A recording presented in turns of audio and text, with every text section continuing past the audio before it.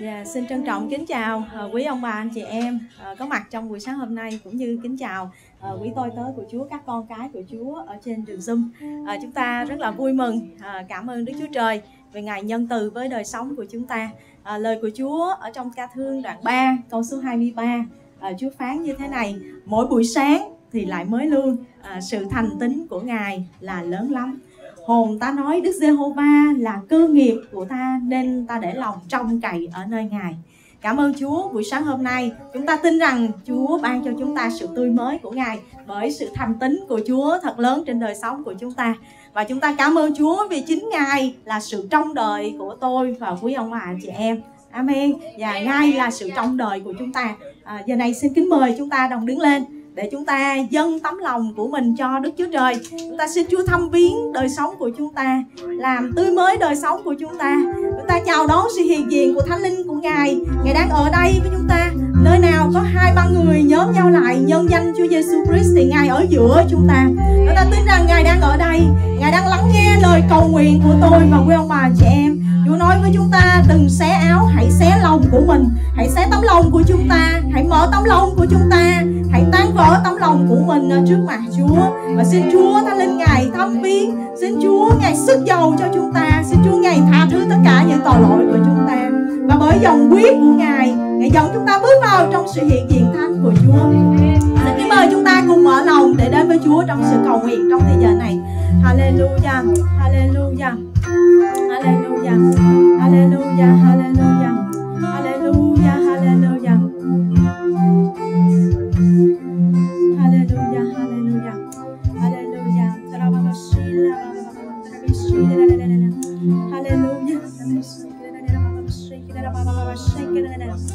Con cảm ơn Ngài Chúa ơi. Hallelujah. Hallelujah.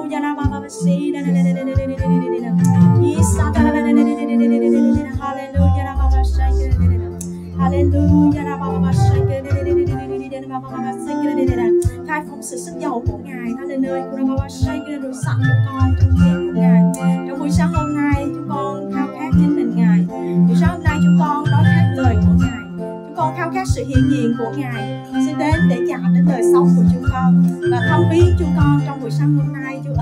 Hallelujah. Chỉ một mình Ngài làm tôi mới đời sống của chúng con. Chúa ơi, chúng con đánh trận không phải bởi thịt và huyết, bởi các chủ quyền, các thế lực vua chúa của thế gian mờ tối này Cha ơi.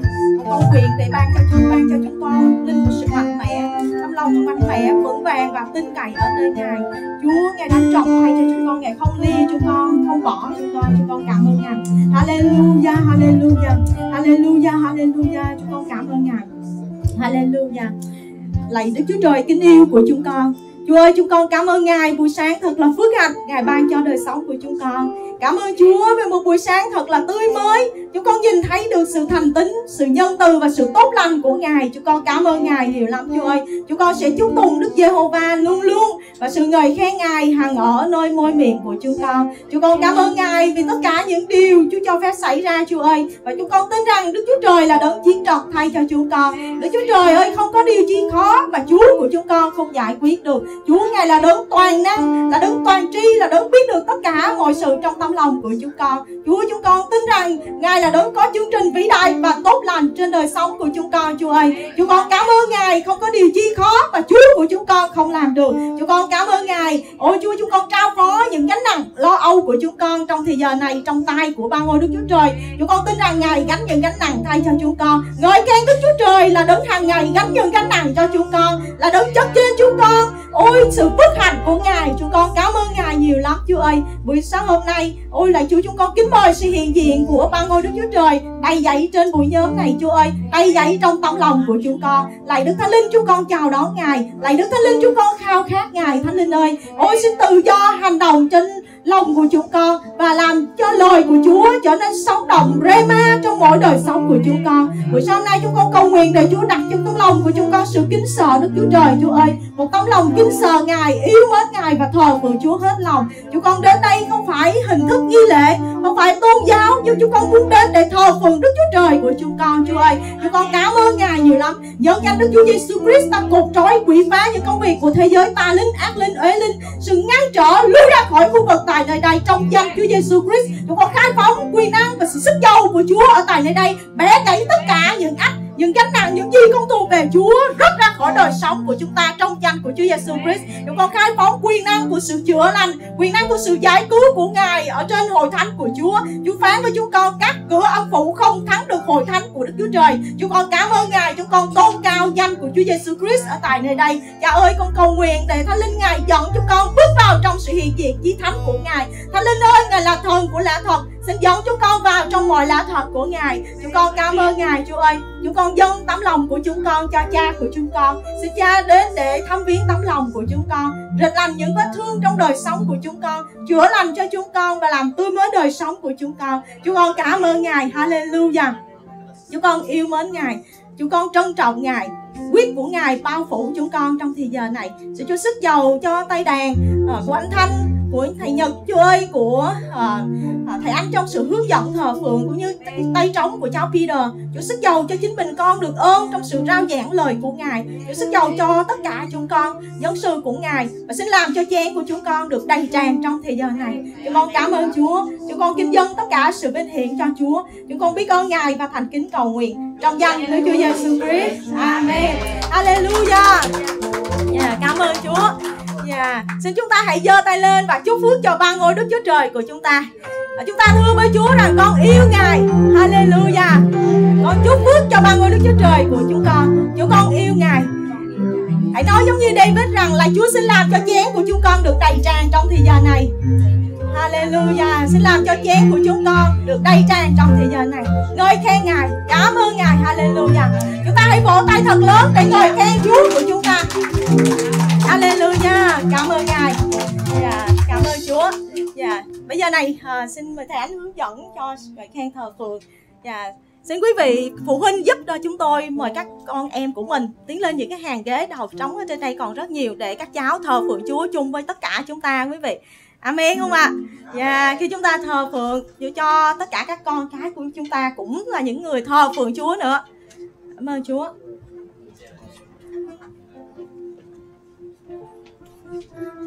Dạ, xin kính chào quý vị hội thánh của chúng ta. Dạ, chúng ta có vui khi chúng ta được ở trong nhà của Đức giê va không ạ? À? Amen. Dạ, ai vui hả quý vị? Alleluia. Dạ, Amen. Chúng ta vui uh, bởi vì Chúa ngài làm trong đời sống của chúng ta những điều vĩ đại và và những điều tốt lành mà ngài làm cho đời sống của chúng ta. Dạ, Thi Thiên thứ 96. Dạ, nếu chúng ta có xin xin hội thánh chúng ta mở ra trong Thi Thiên 996 từ câu số 1 cho tới câu số uh, 9. Và tôi xin uh, phép được đọc lời của Đức Giê-hô-va. Hãy hát cho Đức Giê-hô-va một bài ca mới. Hỡi cả trái đất, hãy ca ngợi Đức Giê-hô-va. Hãy ca ngợi Giê-hô-va và chúc tụng danh của Ngài. Từng ngày hãy rao truyền sự cứu rỗi của Ngài. Hãy thuật lại vinh quang Ngài giữa các nước công bố những việc diệu kỳ của Ngài cho muôn dân. Vì Đức Giê-hô-va thật vĩ đại, rất đáng được ca ngợi. Ngài đáng kính sợ hơn tất cả các thần. Vì tất cả các thần của các dân tộc đều là hình tượng, còn Đức Giê-hô-va đã dựng nên các tầng trời, uy nghiêm và rực rỡ ở trước mặt Ngài, quyền năng và vẻ đẹp ở nơi thánh Ngài. Hỡi dòng giống của các dân tộc, hãy chúc tụng Đức Giê-hô-va, hãy quy vinh quang và quyền năng về Đức Giê-hô-va. Hãy vi vinh quang về Giê-hô-va, xứng đáng với danh của Ngài. Hãy đem tới lễ mà vào hành lang của Ngài. Hãy trang sức bằng sự thánh khiết mà thờ phượng Đức Giê-hô-va, hỡi cả trái đất, hãy run sợ trước mặt Ngài. Amen. Yeah. Yeah, đây chính là lời của Chúa khích lệ trong tấm lòng của chúng ta khi đến thờ phượng Ngài. Chúng ta hãy hát ngợi khen Chúa với cả tấm lòng của chúng ta và tôn cao sự vĩ đại của Ngài, sự vẻ đẹp của Chúa và sự oai nghiêm rực rỡ quyền năng ở trong nơi thánh của Ngài. Bởi vì Chúa của chúng ta là đấng cao hơn tất cả các thần của chúng ta đang thờ phượng. Amen quý vị. Dạ, yeah, Ngài là đấng xứng đáng cho chúng ta được thờ phượng trong buổi sáng hôm nay. Chúng ta hãy vâng cho Chúa một tràng pháo tay thật lớn để chúng ta ngợi khen Chúa của chúng ta. Amen. Hallelujah. Dạ, Giêsu chính là vua và Ngài là đấng trị vì và Ngài là đấng cho chúng ta thờ tôn cao Ngài. Amen.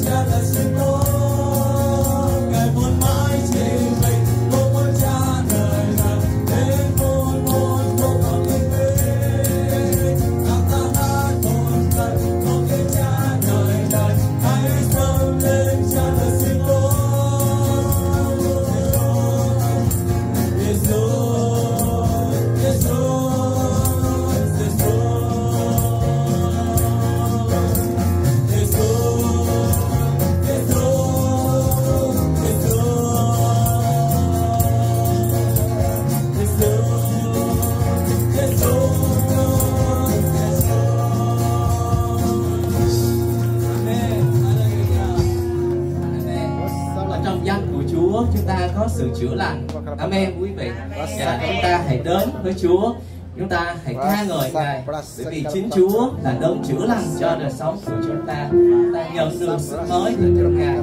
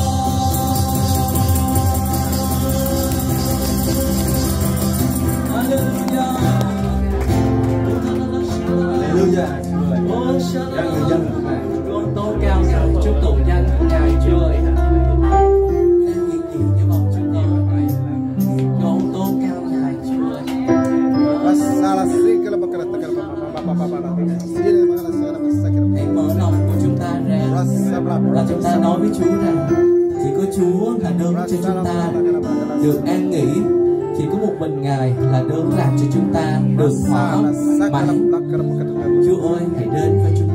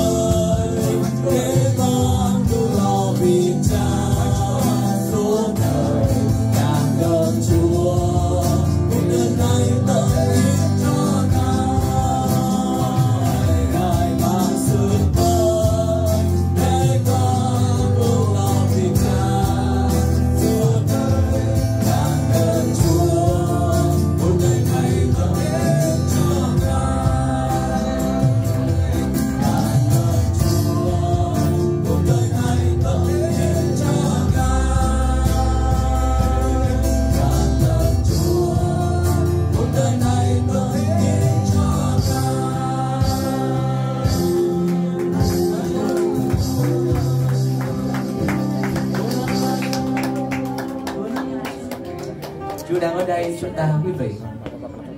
Chúa, Ngài thấy được tấm lòng của chúng ta trước mặt Ngài. Hãy tôn cao danh của Ngài. Chúa Chúa ơi, Chiên con là đấng đã chết thay cho chính tội lỗi của chúng con con tôn cao ngài. Chúng ta không thể nào làm thinh được khi chúng ta đến trước nhà chúa. Hãy cất tiếng của mình và nói với chúa rằng chúa ơi con cần ngài hơn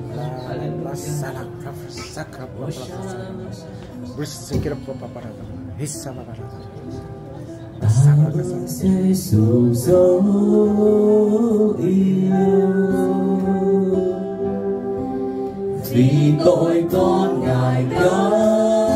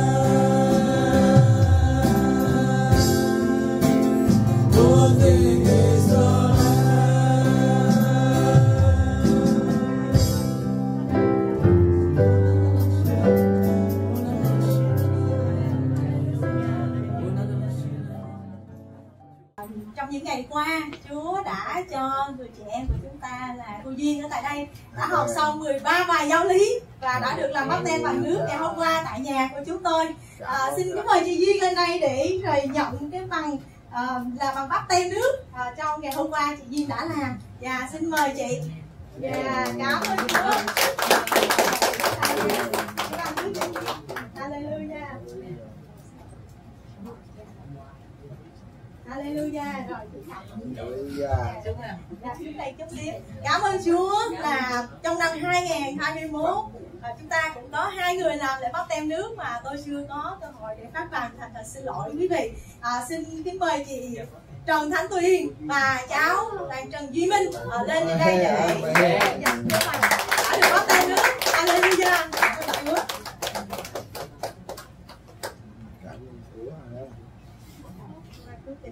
Cao hơn mẹ Dạ. Qua phước cho con.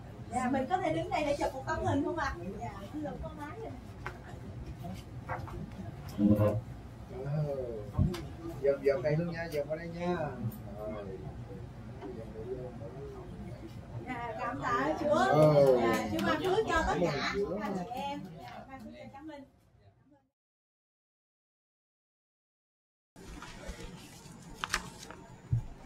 Dạ, xin trân trọng kính chào à, quý ông bà anh chị em à, có mặt trong buổi sáng hôm nay à, để chúng ta cùng được đón nhận suy ngẫm lời của Chúa à, chung với tôi à, cảm ơn Chúa trong những ngày qua à, Chúa này có ở cùng và Ngài có ban phước và Ngài có thăm viếng mỗi tâm lòng của chúng ta à, để chúng ta được đến với Chúa.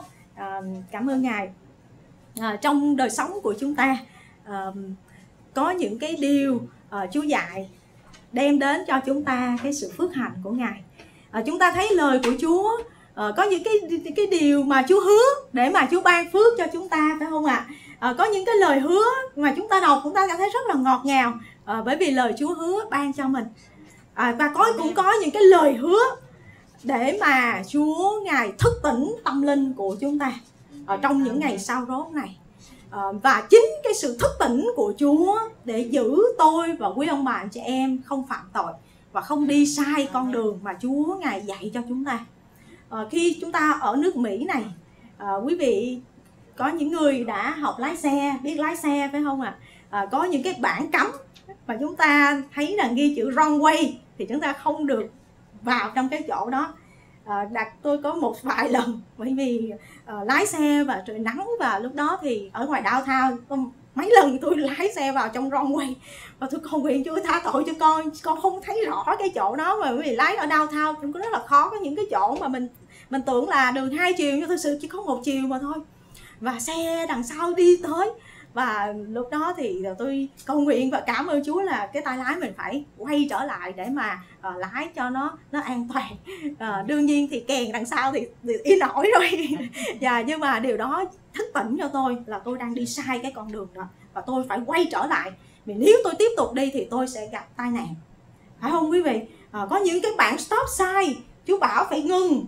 À, theo cái luật giao thông là phải ngừng lại. Nhưng mà nếu mà chúng ta cứ phóng luôn không cần biết luật giao thông thì chúng ta sẽ nguy hiểm tính mạng của mình và tới tính mạng của người khác nữa dạ cho nên có những cái bản cấm ở trong lời của đức chúa trời có những cái bản cảnh cáo ở trong lời của đức chúa trời để thức tỉnh cho tôi và quý ông bà chị em để chúng ta bước đi trong cái con đường lẽ thật của Chúa. Amen không? Dạ, quý vị thấy Chúa yêu chúng ta cho nên Chúa thức tỉnh chúng ta để mà chúng ta được bước đi ở trong đường lối của Ngài và đời sống của chúng ta được phước. Và hôm nay, quý vị trong châm ngôn đoạn 19 câu số 23, Chúa nói rằng sự kính sợ Đức Giê-hô-va dẫn đến sự sống, làm cho người ta được thỏa nguyện và ngăn cản mọi tai họa. Sự kính sợ Đức Giê-hô-va dẫn đến sự sống. Khi một người có tấm lòng kính sợ Đức Chúa Trời thì Chúa phán rằng cái người đi đó dẫn đến con đường của sự sống của Chúa. Và làm cho người đó được thỏa nguyện. Cảm thấy cuộc đời của người đó được Chúa ngày đáp ứng ban phước cho đời sống của người đó. Vui thỏa với những cái quyết định. Bởi vì mình đã đặt Đức Chúa Trời làm hàng đầu trên đời sống của mình. Bởi vì mình có sự kính sợ Đức Chúa Trời và mình được phước ở trong cái sự mình kính sợ Chúa và vâng lời Chúa. Và câu vế tiếp đó, quý vị, Chúa nói rằng ngăn cản mọi tai họa. Không những đời sống của chúng ta được phước, mà còn ngăn cản chúng ta không gặp cái tai họa, hay những cạm bẫy, hay những cái sự đen tối, cám dỗ mà quỷ sa tăng và xác thịt này đưa tới cho đời sống của mình. Cho nên đây là cái bài học mà sư Chúa khích lệ tôi và quý ông bà chị em với một cái đề tài mà tôi muốn học buổi sáng hôm nay. Đó là đề tài, hãy kính sợ Chúa hãy kính sợ Chúa. Tuần vừa rồi quý vị đã học uh, tôi đã được học với quý vị. Cái bài học đó là hãy tha thứ để được tha thứ. Uh, chúng ta tha thứ cho người khác vì Chúa yêu và tha thứ cho chúng ta. Cảm ơn Chúa. Và hôm nay chúng ta sẽ học có một cái bài học đó là kính sợ Chúa. Chúng ta làm phần của chúng ta chúng ta làm đẹp lòng Đức Chúa Trời bởi vì chúng ta kính sợ Ngài để đời sống của chúng ta tránh sự dấp phạm cho người khác. Quý vị amen không ạ? À? dạ, xin Chúa giúp đỡ cho chúng ta qua lời của Ngài. Cảm ơn Chúa. Xin kính mời quý vị chúng ta đồng đứng lên. Chúng ta cùng đọc lời của Chúa qua sách truyền đạo đoạn 5 Từ câu 1 cho đến câu số 7 à, Tôi đã có ở trên màn hình. À, Xin chúng ta cùng đọc chung với nhau. Dạ xin kính mời. Hãy cẩn trọng. Khi con bước chân đến nhà Đức Chúa Trời Thà đến gần mà lắng nghe hơn là dân sinh tế như những kẻ ngu dại. Vì họ không nhận biết mình làm điều ác. Con đừng vội vàng mở miệng Cũng đừng hấp tấp nói điều gì trước mặt Đức Chúa Trời. Vì Đức Chúa Trời ở trên trời Còn con ở dưới đất. Vậy hãy ít lời. Nhiều điều lo lắng sanh ra chim bao còn nhiều lời thì sanh ra ngu dại khi con hứa nguyện điều gì với đức chúa trời, thì đừng chậm trễ, hoàn nguyện. Vì ngài chẳng vui thích kẻ dài. Vậy hãy hoàn thành điều con hứa nguyện. À đừng hứa nguyện hơn là hứa nguyện mà không hoàn nguyện. Đừng để miệng con khiến con phạm tội. Và đừng nói trước mặt sứ giả của đức chúa trời rằng, đó là lầm lỡ. Sao con làm cho đức chúa trời nổi giận về lời nói của con và ngài phá hủy công việc của tay con. Ở đâu có quá nhiều chim bao ở đó có nhiều điều hư không và lắm lời. Vậy hãy kính sợ đức chúa trời. Sẽ chúng ta cùng đọc câu cuối uh, vế cuối cùng. Vậy hãy uh, chúng ta cùng đọc chung với nhau ba lần. Hai ba. Vậy hãy kính sợ đức chúa trời. Vậy hãy kính sợ đức chúa trời. Vậy hãy kính sợ đức chúa trời xin cùng hiệp một với tôi trong sự cầu nguyện lạy chúa kính yêu của chúng con chúng con mở tâm lòng của chúng con ra để đón nhận lời của ngài Cầu xin Chúa thăm viếng chúng con sức giàu cho lời của Ngài, bao phủ chúng con trong quyết của Chúa Giêsu Christ. Chúng con dâng sự vinh hiển cho Chúa. Trong danh Chúa Giêsu ta cột trói tất cả những cái sự phân tâm, bắn xé của kẻ thù vào tâm trí làm cho chúng ta mất tập trung hay làm cho chúng ta buồn ngủ, mệt mỏi. Giờ này trong danh Chúa Giêsu phải ra khỏi tâm trí của chúng ta, ra khỏi tâm lòng của chúng ta và làm cho tâm trí của chúng con tươi mới, thân thể chúng con tươi mới để đón nhận lời của Ngài. Còn nhân danh Giêsu Christ Ngài khai phóng sự sức giàu của Chúa tại nơi đây và làm cho chúng con hiểu được lời của Chúa và sống với lời của Ngài. Chúng con cảm ơn Chúa. Chúng con thành kính cầu nguyện trong danh của Chúa Giêsu Christ. Amen. Dạ, xin kính mời quý vị đồng ngồi. Dạ, cảm ơn Chúa. Ờ, lời của Chúa trong sách truyền đạo uh, viết cho chúng ta uh, về cái sự kính sợ Chúa. Truyền đạo là do sách của vị vua Salomon. Đây là một vị vua nổi tiếng là khôn ngoan ở trước mặt Chúa bởi vì trong giấc mơ ông đã được Chúa hướng dẫn ông ông cầu nguyện với Chúa Chúa hiện ra với ông hai lần và Chúa ngài hỏi Salomon rằng ngươi muốn ta làm gì cho ngươi Salomon nói rằng là Chúa sẽ ban cho con sự khôn ngoan của Chúa. Và thật sự quý vị Chúa ban cho Salomon đầy dẫy sự khôn ngoan. Phải nói là sự khôn ngoan nhất trong thời bấy giờ. Uh, gia đình và nhà cửa tài sản của vua Salomon giàu có vô cùng. Bởi vì lúc đó Salomon yêu kính Đức Chúa Trời. Nhưng mà trong đời sống của ông bước đi với Chúa ông đã có những cái điều tội lỗi trong đời sống của mình và chính cái tội lỗi đó làm cho ông không còn có tấm lòng trung thành với Chúa nữa. Đó là ông đã thiếu đi cái tấm lòng kính sợ Đức Chúa Trời. Yeah. Và trong sách uh, các vua thứ nhất đoạn số 11 ở câu số 3 cho chúng ta thấy rằng Salomon có tất cả là 700 bà vợ hoàng hậu và 300 cung nữ. Và kể cả những người nữ ngoại bang và ông cưới về nhưng mà những người phụ nữ này đã làm cho ông sai lạc con đường của Chúa trong câu 9 của đoạn 11 của các vui thứ nhất nói rằng lòng của Salomon không còn trung thành với Chúa nữa. Và câu 4 thì nói rằng những người vợ của ông cưới về làm cho ông xa khỏi Chúa và làm cho ông thơ cúng các hình tượng ngoại bang. Và quý vị, cuộc đời của Salomon, Đức Chúa Trời nổi giận và Ngài tách cái đất nước đó ra khỏi đời của con trai của Salomon và đem cái đất nước uh, Israel bị chia ra làm hai. Một bên là đất nước Israel và một bên là nước Juda. Và ông không còn cai trị trên toàn thể Israel nữa mà chỉ còn hai cái uh, chi phái trung thành với ông đó là chi phái Juda và Benjamin theo David uh, ờ, cho nên quý vị thấy cái lòng kính sợ Chúa vô cùng quan trọng là hôm nay và Chúa ngày đặt để trong tấm lòng của tôi và hội thánh để chúng ta cùng học cái bài học này về cái tấm lòng uh, của sự kính sợ Chúa. Cảm ơn Chúa. Salomon sau khi ông sa ngã quý vị, ông đã có một cái sự ăn năn trong đời sống của mình và ông đã viết ra sách truyền đạo uh, trong những ngày cuối của cuộc đời của ông.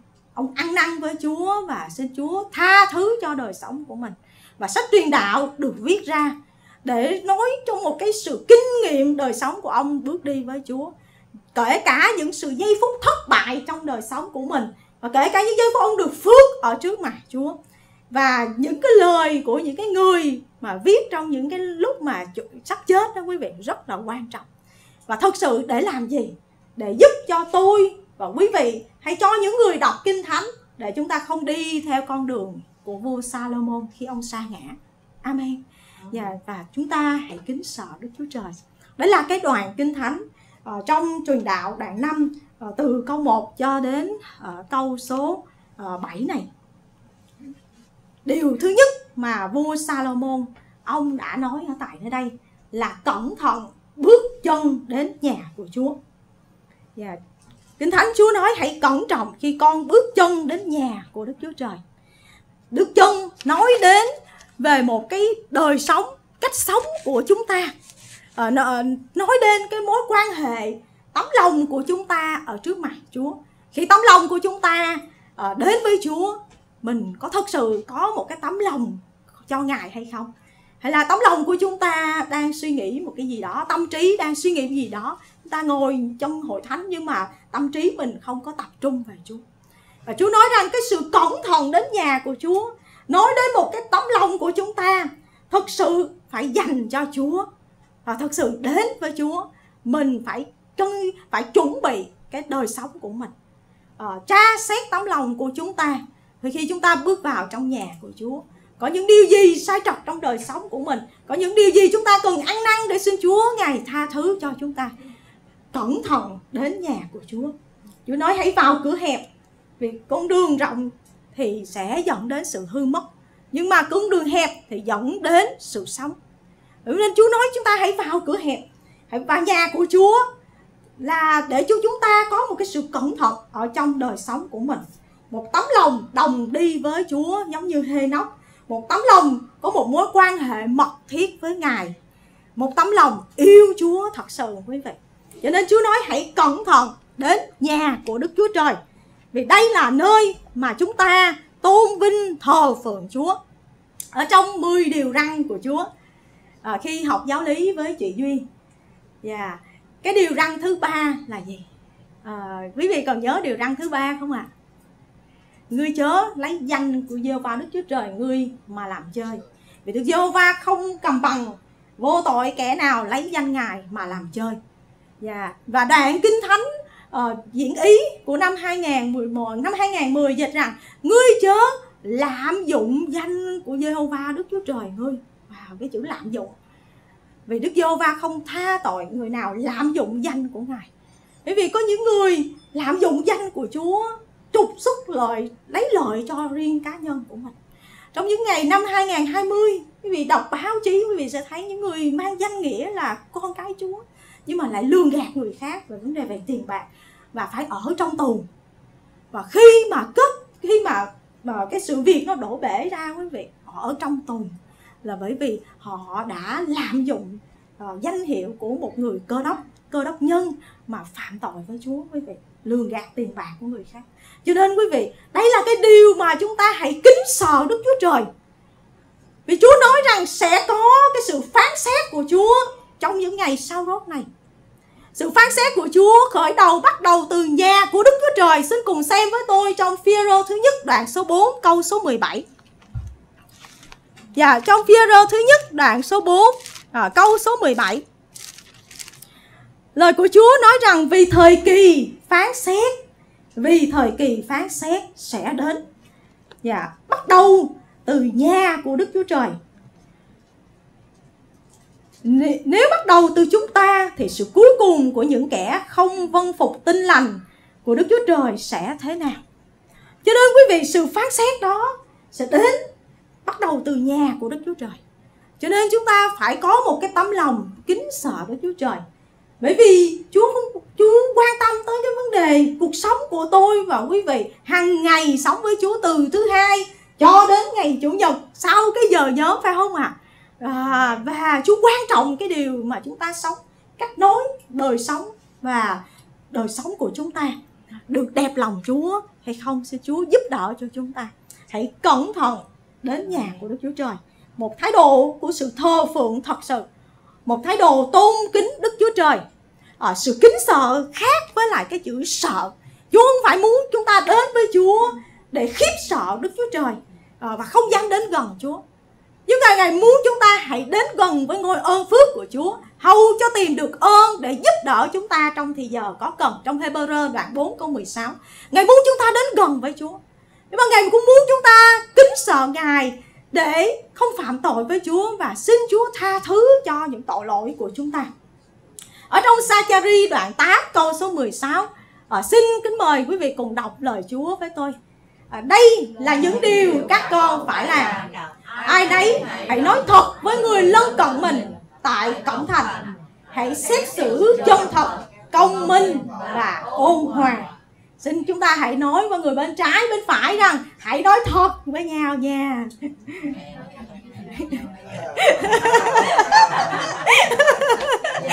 Hãy nói thật với nhau nha yeah.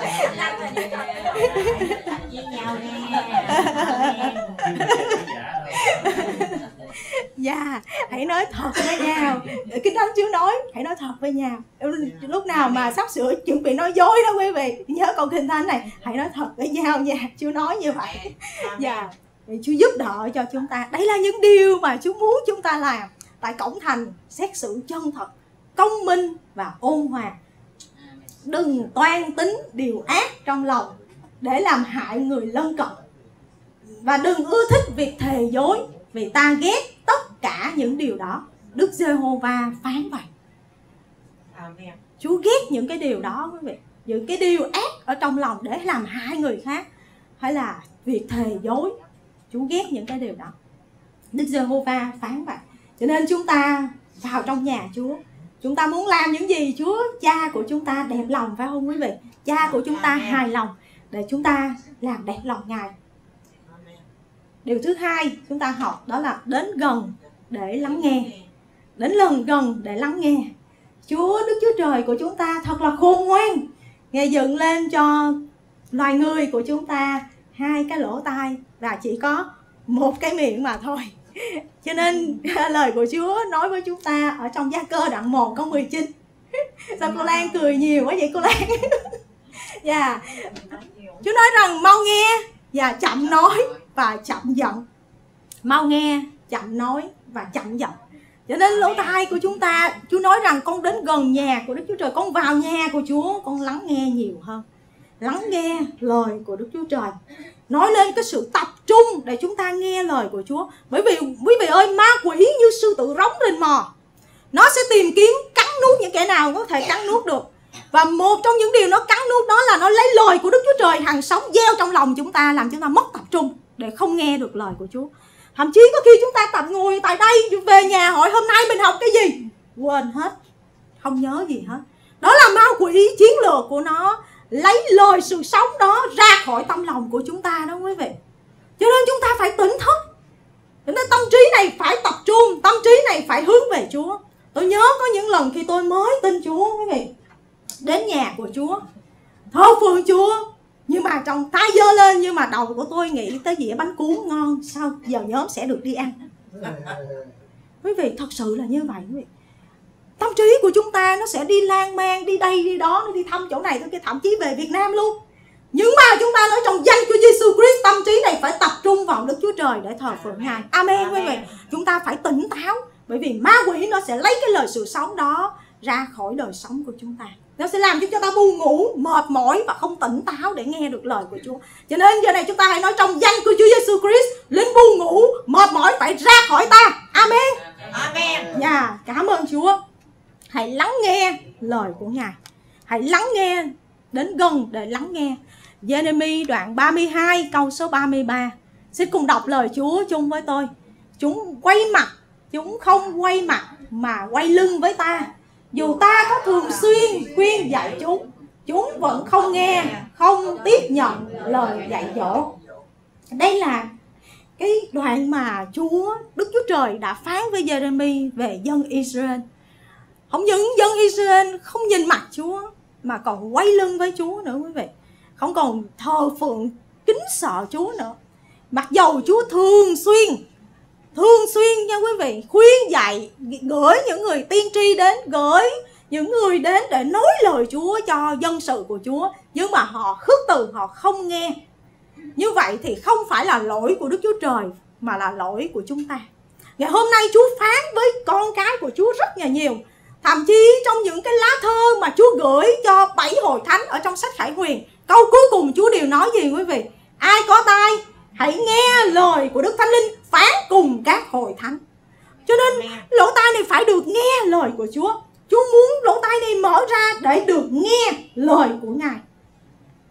Cho nên hãy là người lắng nghe lời của Chúa. Điều thứ ba Chúa nói rằng thà đến gần để lắng nghe hơn là dân sinh tế như những kẻ ngu dại. Vì họ không nhận biết mình làm điều ác. Điều thứ ba, xin cùng đọc với tôi, đừng dân tế lễ của kẻ ngu dại. Đừng dân tế lễ của kẻ ngu dại. Đây là điều mà chúa nhắc nhở cho chúng ta. Tế lễ của kẻ ngu dại là như thế nào? Trong Esai đoạn 1 từ câu 12 cho đến câu số 17 khi các ngươi đến trước mặt ta Ai đòi hỏi điều này từ tay các ngươi để các ngươi dày đạp hành lang của ta. Đừng tiếp tục đem tới lễ chay vô ích nữa. Ta ghê tởm trầm hương, lễ hội trăng mới, ngày sa bát và các cuộc nhóm họp khác. Ta không chịu nổi việc cứ phạm tội rồi lại nhóm họp trọng thể. Ta chán ghét các lễ hội trăng mới và những lễ hội định kỳ của các ngươi. Các lễ hội ấy trở thành gánh nặng cho ta. Ta mệt mỏi mà mang chúng.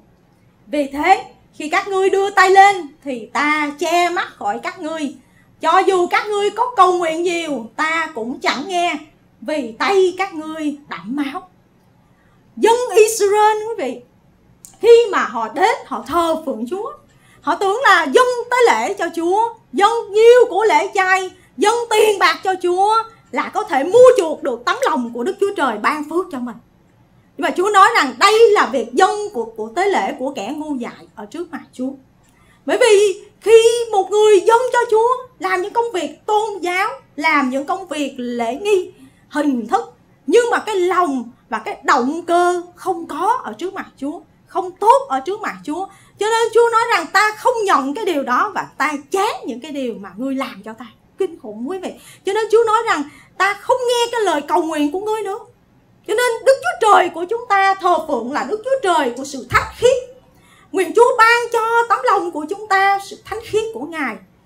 Khi tôi đọc quyển sách của một sư Bon Bonke về quyển sách có tựa đề là Lửa Phúc Âm. Khi mà tôi tớ của Chúa, ông viết cuốn sách đó, ông ngồi bên cạnh ở trong một cái hội thánh buổi nhóm, ông ngồi bên cạnh một người uh, tôi tớ của Chúa cũng lớn tuổi rồi, hơn 90 rồi. Và ông nghe cái lời cầu nguyện của người tôi tớ này rằng là Chúa xin xin giữ con khỏi phạm tội xin ban cho con tấm lòng thánh khiết của Chúa. Bởi vì đây là điều chúng ta phải xin để xin Chúa giữ con khỏi những cái điều tội lỗi khỏi những cái điều xấu mà con phạm tội với Chúa. Amen không ạ? À? sự thánh khiết ờ, Đức Chúa Trời Ngài muốn cho tấm lòng của chúng ta. Bởi vì Đức Chúa Trời là sự thánh khiết Ngài là Đức Chúa Trời thánh khiết. Hãy rửa cho sạch, hãy thanh tẩy chính mình, hãy loại bỏ những việc ác khỏi mắt của ta và đừng làm điều ác nữa. Cho nên xin Chúa Ngài nhắc nhớ cho tấm lòng của chúng ta. Chúng ta không dâng tới lễ của kẻ ngu dại. Có nghĩa là chúng ta dâng đó nhưng mà lòng và động cơ không đúng ở trước mặt Chúa. Cho nên cái tấm lòng này cần phải được tra xét lại và động cơ này cần phải được tra xét lại. Tại sao chúng ta dâng hiến cho Chúa? Tại sao chúng ta hầu về Chúa? Tại sao chúng ta giảng lời Chúa? Tại sao chúng ta phục vụ Chúa? Tại sao? Động cơ của chúng ta đúng có trước mặt Chúa hay không? Quý vị Chúa là đứng nhìn thấy ở trong cái tấm lòng của chúng ta. Ngày bề ngoài, có người thấy, nhưng mà Chúa là nhìn thấy ở trong tấm lòng của chúng ta. Cho nên xin chúng ta hãy nói với người bên trái bên phải rằng Chúa nhìn thấy tấm lòng của bạn. Chúa nhìn thấy tấm lòng của chúng ta. Dạ. Dạ. Hãy nói cho chính mình quý vị Chúa nhìn thấy tấm lòng của tôi. Amen. Yeah mình nói là Chúa nhìn thấy tấm lòng của tôi. Ồ. Oh, yeah có người nói chuyện vui rằng à, con kiến đen đi giữa bóng đen rồi nằm ở ngồi chạy ở trên cái thớt đen. Giờ ai thấy? Chị chúa thấy thôi thôi quý vị? Mình không thấy nó nhưng mà chúa thấy được. À, chúa thấy được hết tất cả mọi sự. Điều thứ tư à, tôi học với quý vị đó là đừng nói lời vội vã. Kinh Thánh Chúa cho chúng ta ở trong câu số 2 của truyền đạo đoạn 5 nói rằng Con đừng vội mở miệng, cũng đừng hấp tấp nói điều gì trước mặt Đức Chúa Trời. Vì Đức Chúa Trời ở trên trời, còn con ở dưới đất. Vậy hãy ít lời. Nhiều điều lo lắng sanh ra chim bao, còn nhiều lời thì sanh ra sự ngu dại. Cho nên trước mặt Chúa, chúng ta hãy ít lời là như vậy một lần nữa Chúa nói mày mình là mau nghe chậm nói và chậm chậm à, ờ, có nhiều khi chúng ta đến với Chúa và nói đây không phải là chúng ta nói về cái lời uh, yêu thương với lời chúc tụng ca ngợi Chúa. Nhưng mà Chúa đang muốn nói uh, sách truyền đạo đang muốn nói với chúng ta rằng nói những cái lời thiếu suy nghĩ. Nói những cái lời không có suy nghĩ. Nói chỉ để mà nói. Cho nên chính vì cái lời nói này làm cho chúng ta phạm tội với Chúa. Uh, nói dối hay nói không thật hay nói những cái lời không của không đến từ nơi Chúa. Và chính vì vậy mà cái lời nói này khiến cho chúng ta không có đẹp lòng Chúa. Xin cùng xem với tôi trong sách truyền à, sách châm ngôn đoạn 12 dạ châm ngôn đoạn số 12 câu số 18 lời nói bừa bãi thì khác nào nhát gươm đâm nhưng lưỡi người khôn ngoan thì đem lại sự chữa lành. Câu số 22 môi dối trá là điều ghê tởm đối với Đức Giê-hô-va còn người hành động chân thật thì làm vui lòng Ngài. Amen. Cảm ơn Chúa. Cho nên Chúa dạy cho chúng ta như vậy. Bởi vì muốn lời nói của chúng ta còn đến đời đời thì xin Chúa cho chúng ta hãy có một cái môi miệng chân thật và không có vội vã nói ra những cái điều mà chúng ta thiếu cái sự suy nghĩ. Xin chúa tha thứ cho chúng ta. Những cái lời nói sai trật bởi vì thấy có nhiều tiên tri giả, nhiều Chris giả nổi lên làm đổi ngược lời của Chúa lại. Thậm chí có những người giải nghĩa về giấc mơ và sai trật ở trong lời của Chúa và lừa gạt con dân của Chúa. Chúng ta đọc trong sách Jeremy mình sẽ thấy được cái điều đó. Cho nên Đức Chúa Trời của chúng ta là Đức Chúa Trời thánh khiết.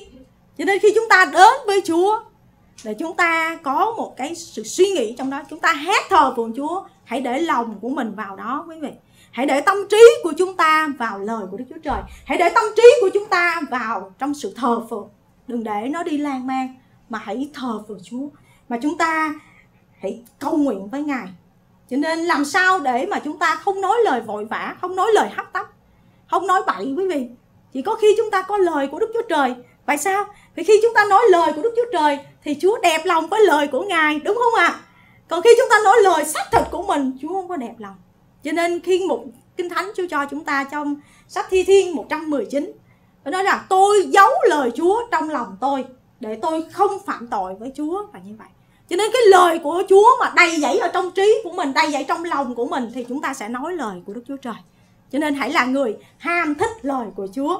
Cho chúng ta hãy nói với người bên trái bên phải rằng hãy ham thích lời của Chúa nha. Yeah, hãy ham thích lời của Chúa. Dạ, yeah. chúng ta hãy thưa với Chúa, xin Chúa cho con ham thích lời của Ngài. Amen.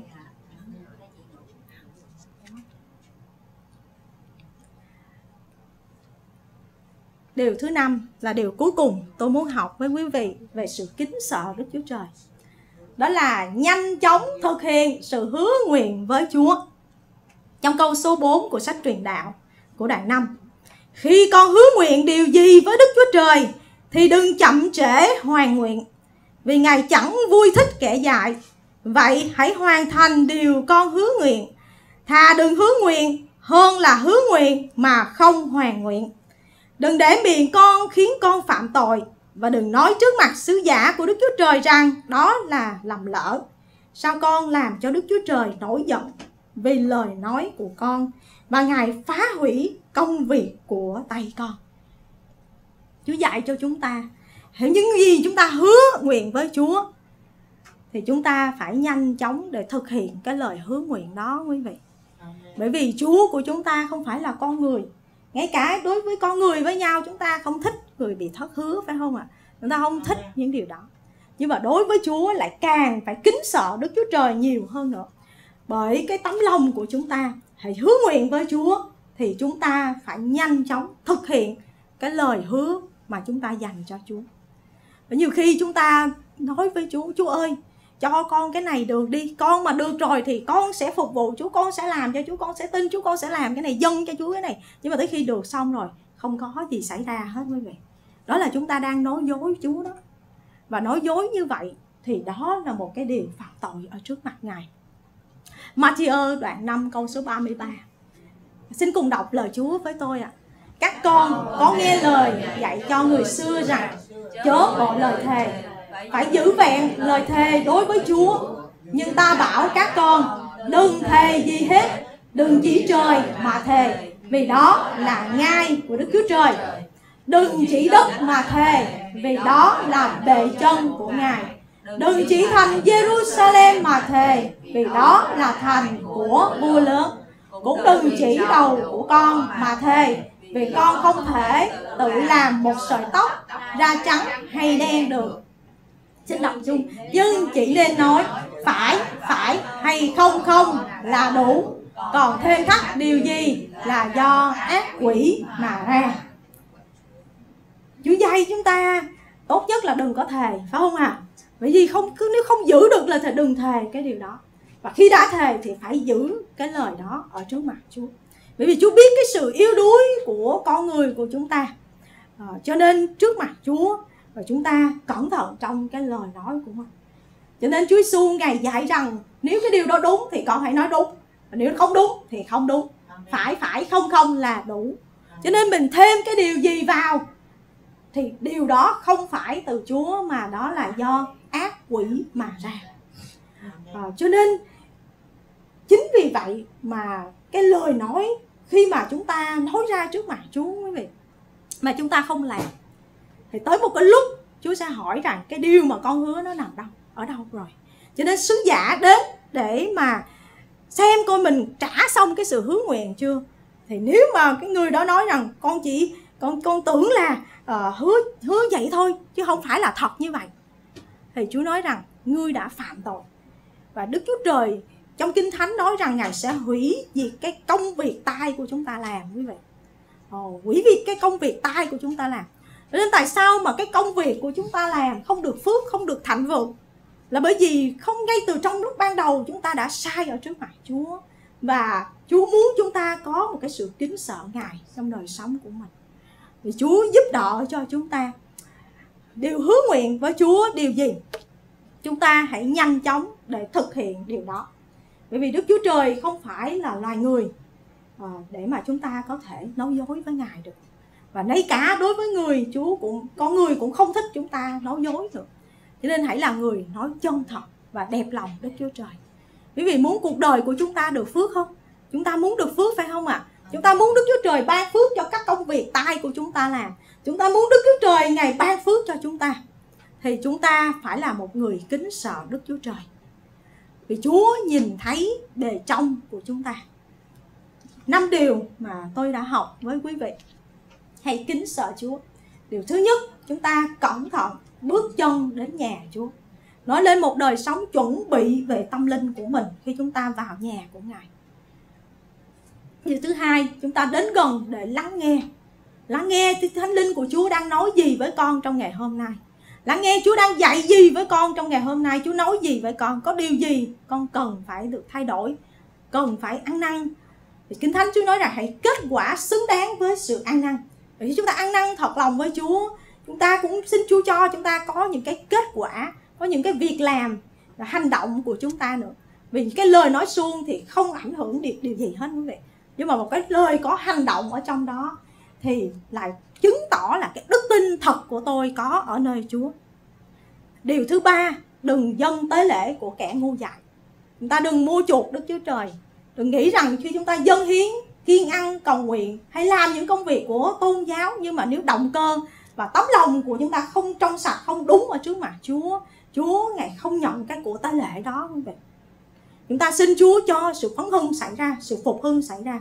Sự phục hưng đó trước khi đến với hội thánh, đến từ chính tấm lòng của tôi và quý ông bà chị em, là những con người có một cái đời sống kính sợ ngài. Vì Chúa giúp đỡ cho chúng ta. Thứ tư, đừng nói lời vội vã. Và thứ năm là hãy nhanh chóng thực hiện sự hứa nguyện với Chúa. Xin kính mời chúng ta đồng đứng lên. Để chúng ta đến với Chúa trong sự cầu nguyện có những cái điều gì ở trong đời sống của mình? Và chúng ta muốn Chúa ngài ban phước cho chúng ta. Hay là chúng ta đang thấy cái sự phước hạnh của Chúa đang bị tắc nghẽn ở đâu đó một chỗ nào đó? Có thể trong tấm lòng của mình, có một điều gì đó xin Chúa tha thứ và thay đổi để cho con kính sợ Đức Chúa Trời và con làm đẹp lòng Ngài. Vì Chúa Thánh Linh Ngài thăm viếng chúng con, lấy những cái điều không thuộc về Chúa ra khỏi đời sống của chúng con. Nhã ca đoạn 2 câu 15 nói rằng, Hãy bắt cho con những con trồn nhỏ. Những con trồn nhỏ phá hoại vườn nho Về vườn nho của con đang trổ bông. Đời sống thuộc linh của tôi và quý vị đang được tăng trưởng phát triển ở trong Chúa. Xin Chúa bắt những con trồn nhỏ, Những cái tội lỗi bé bé xinh xinh dễ thương nào Mà đang cản trở bước đường thuộc linh, Chúng ta đi với Chúa. Thì xin Chúa, Ngài tha thứ và lấy nó ra khỏi tâm lòng của mình để Chúa cho con một tâm lòng kính sợ Ngài. Xin giúp đỡ cho mọi tâm lòng của chúng con. Hallelujah. Cảm ơn Ngài.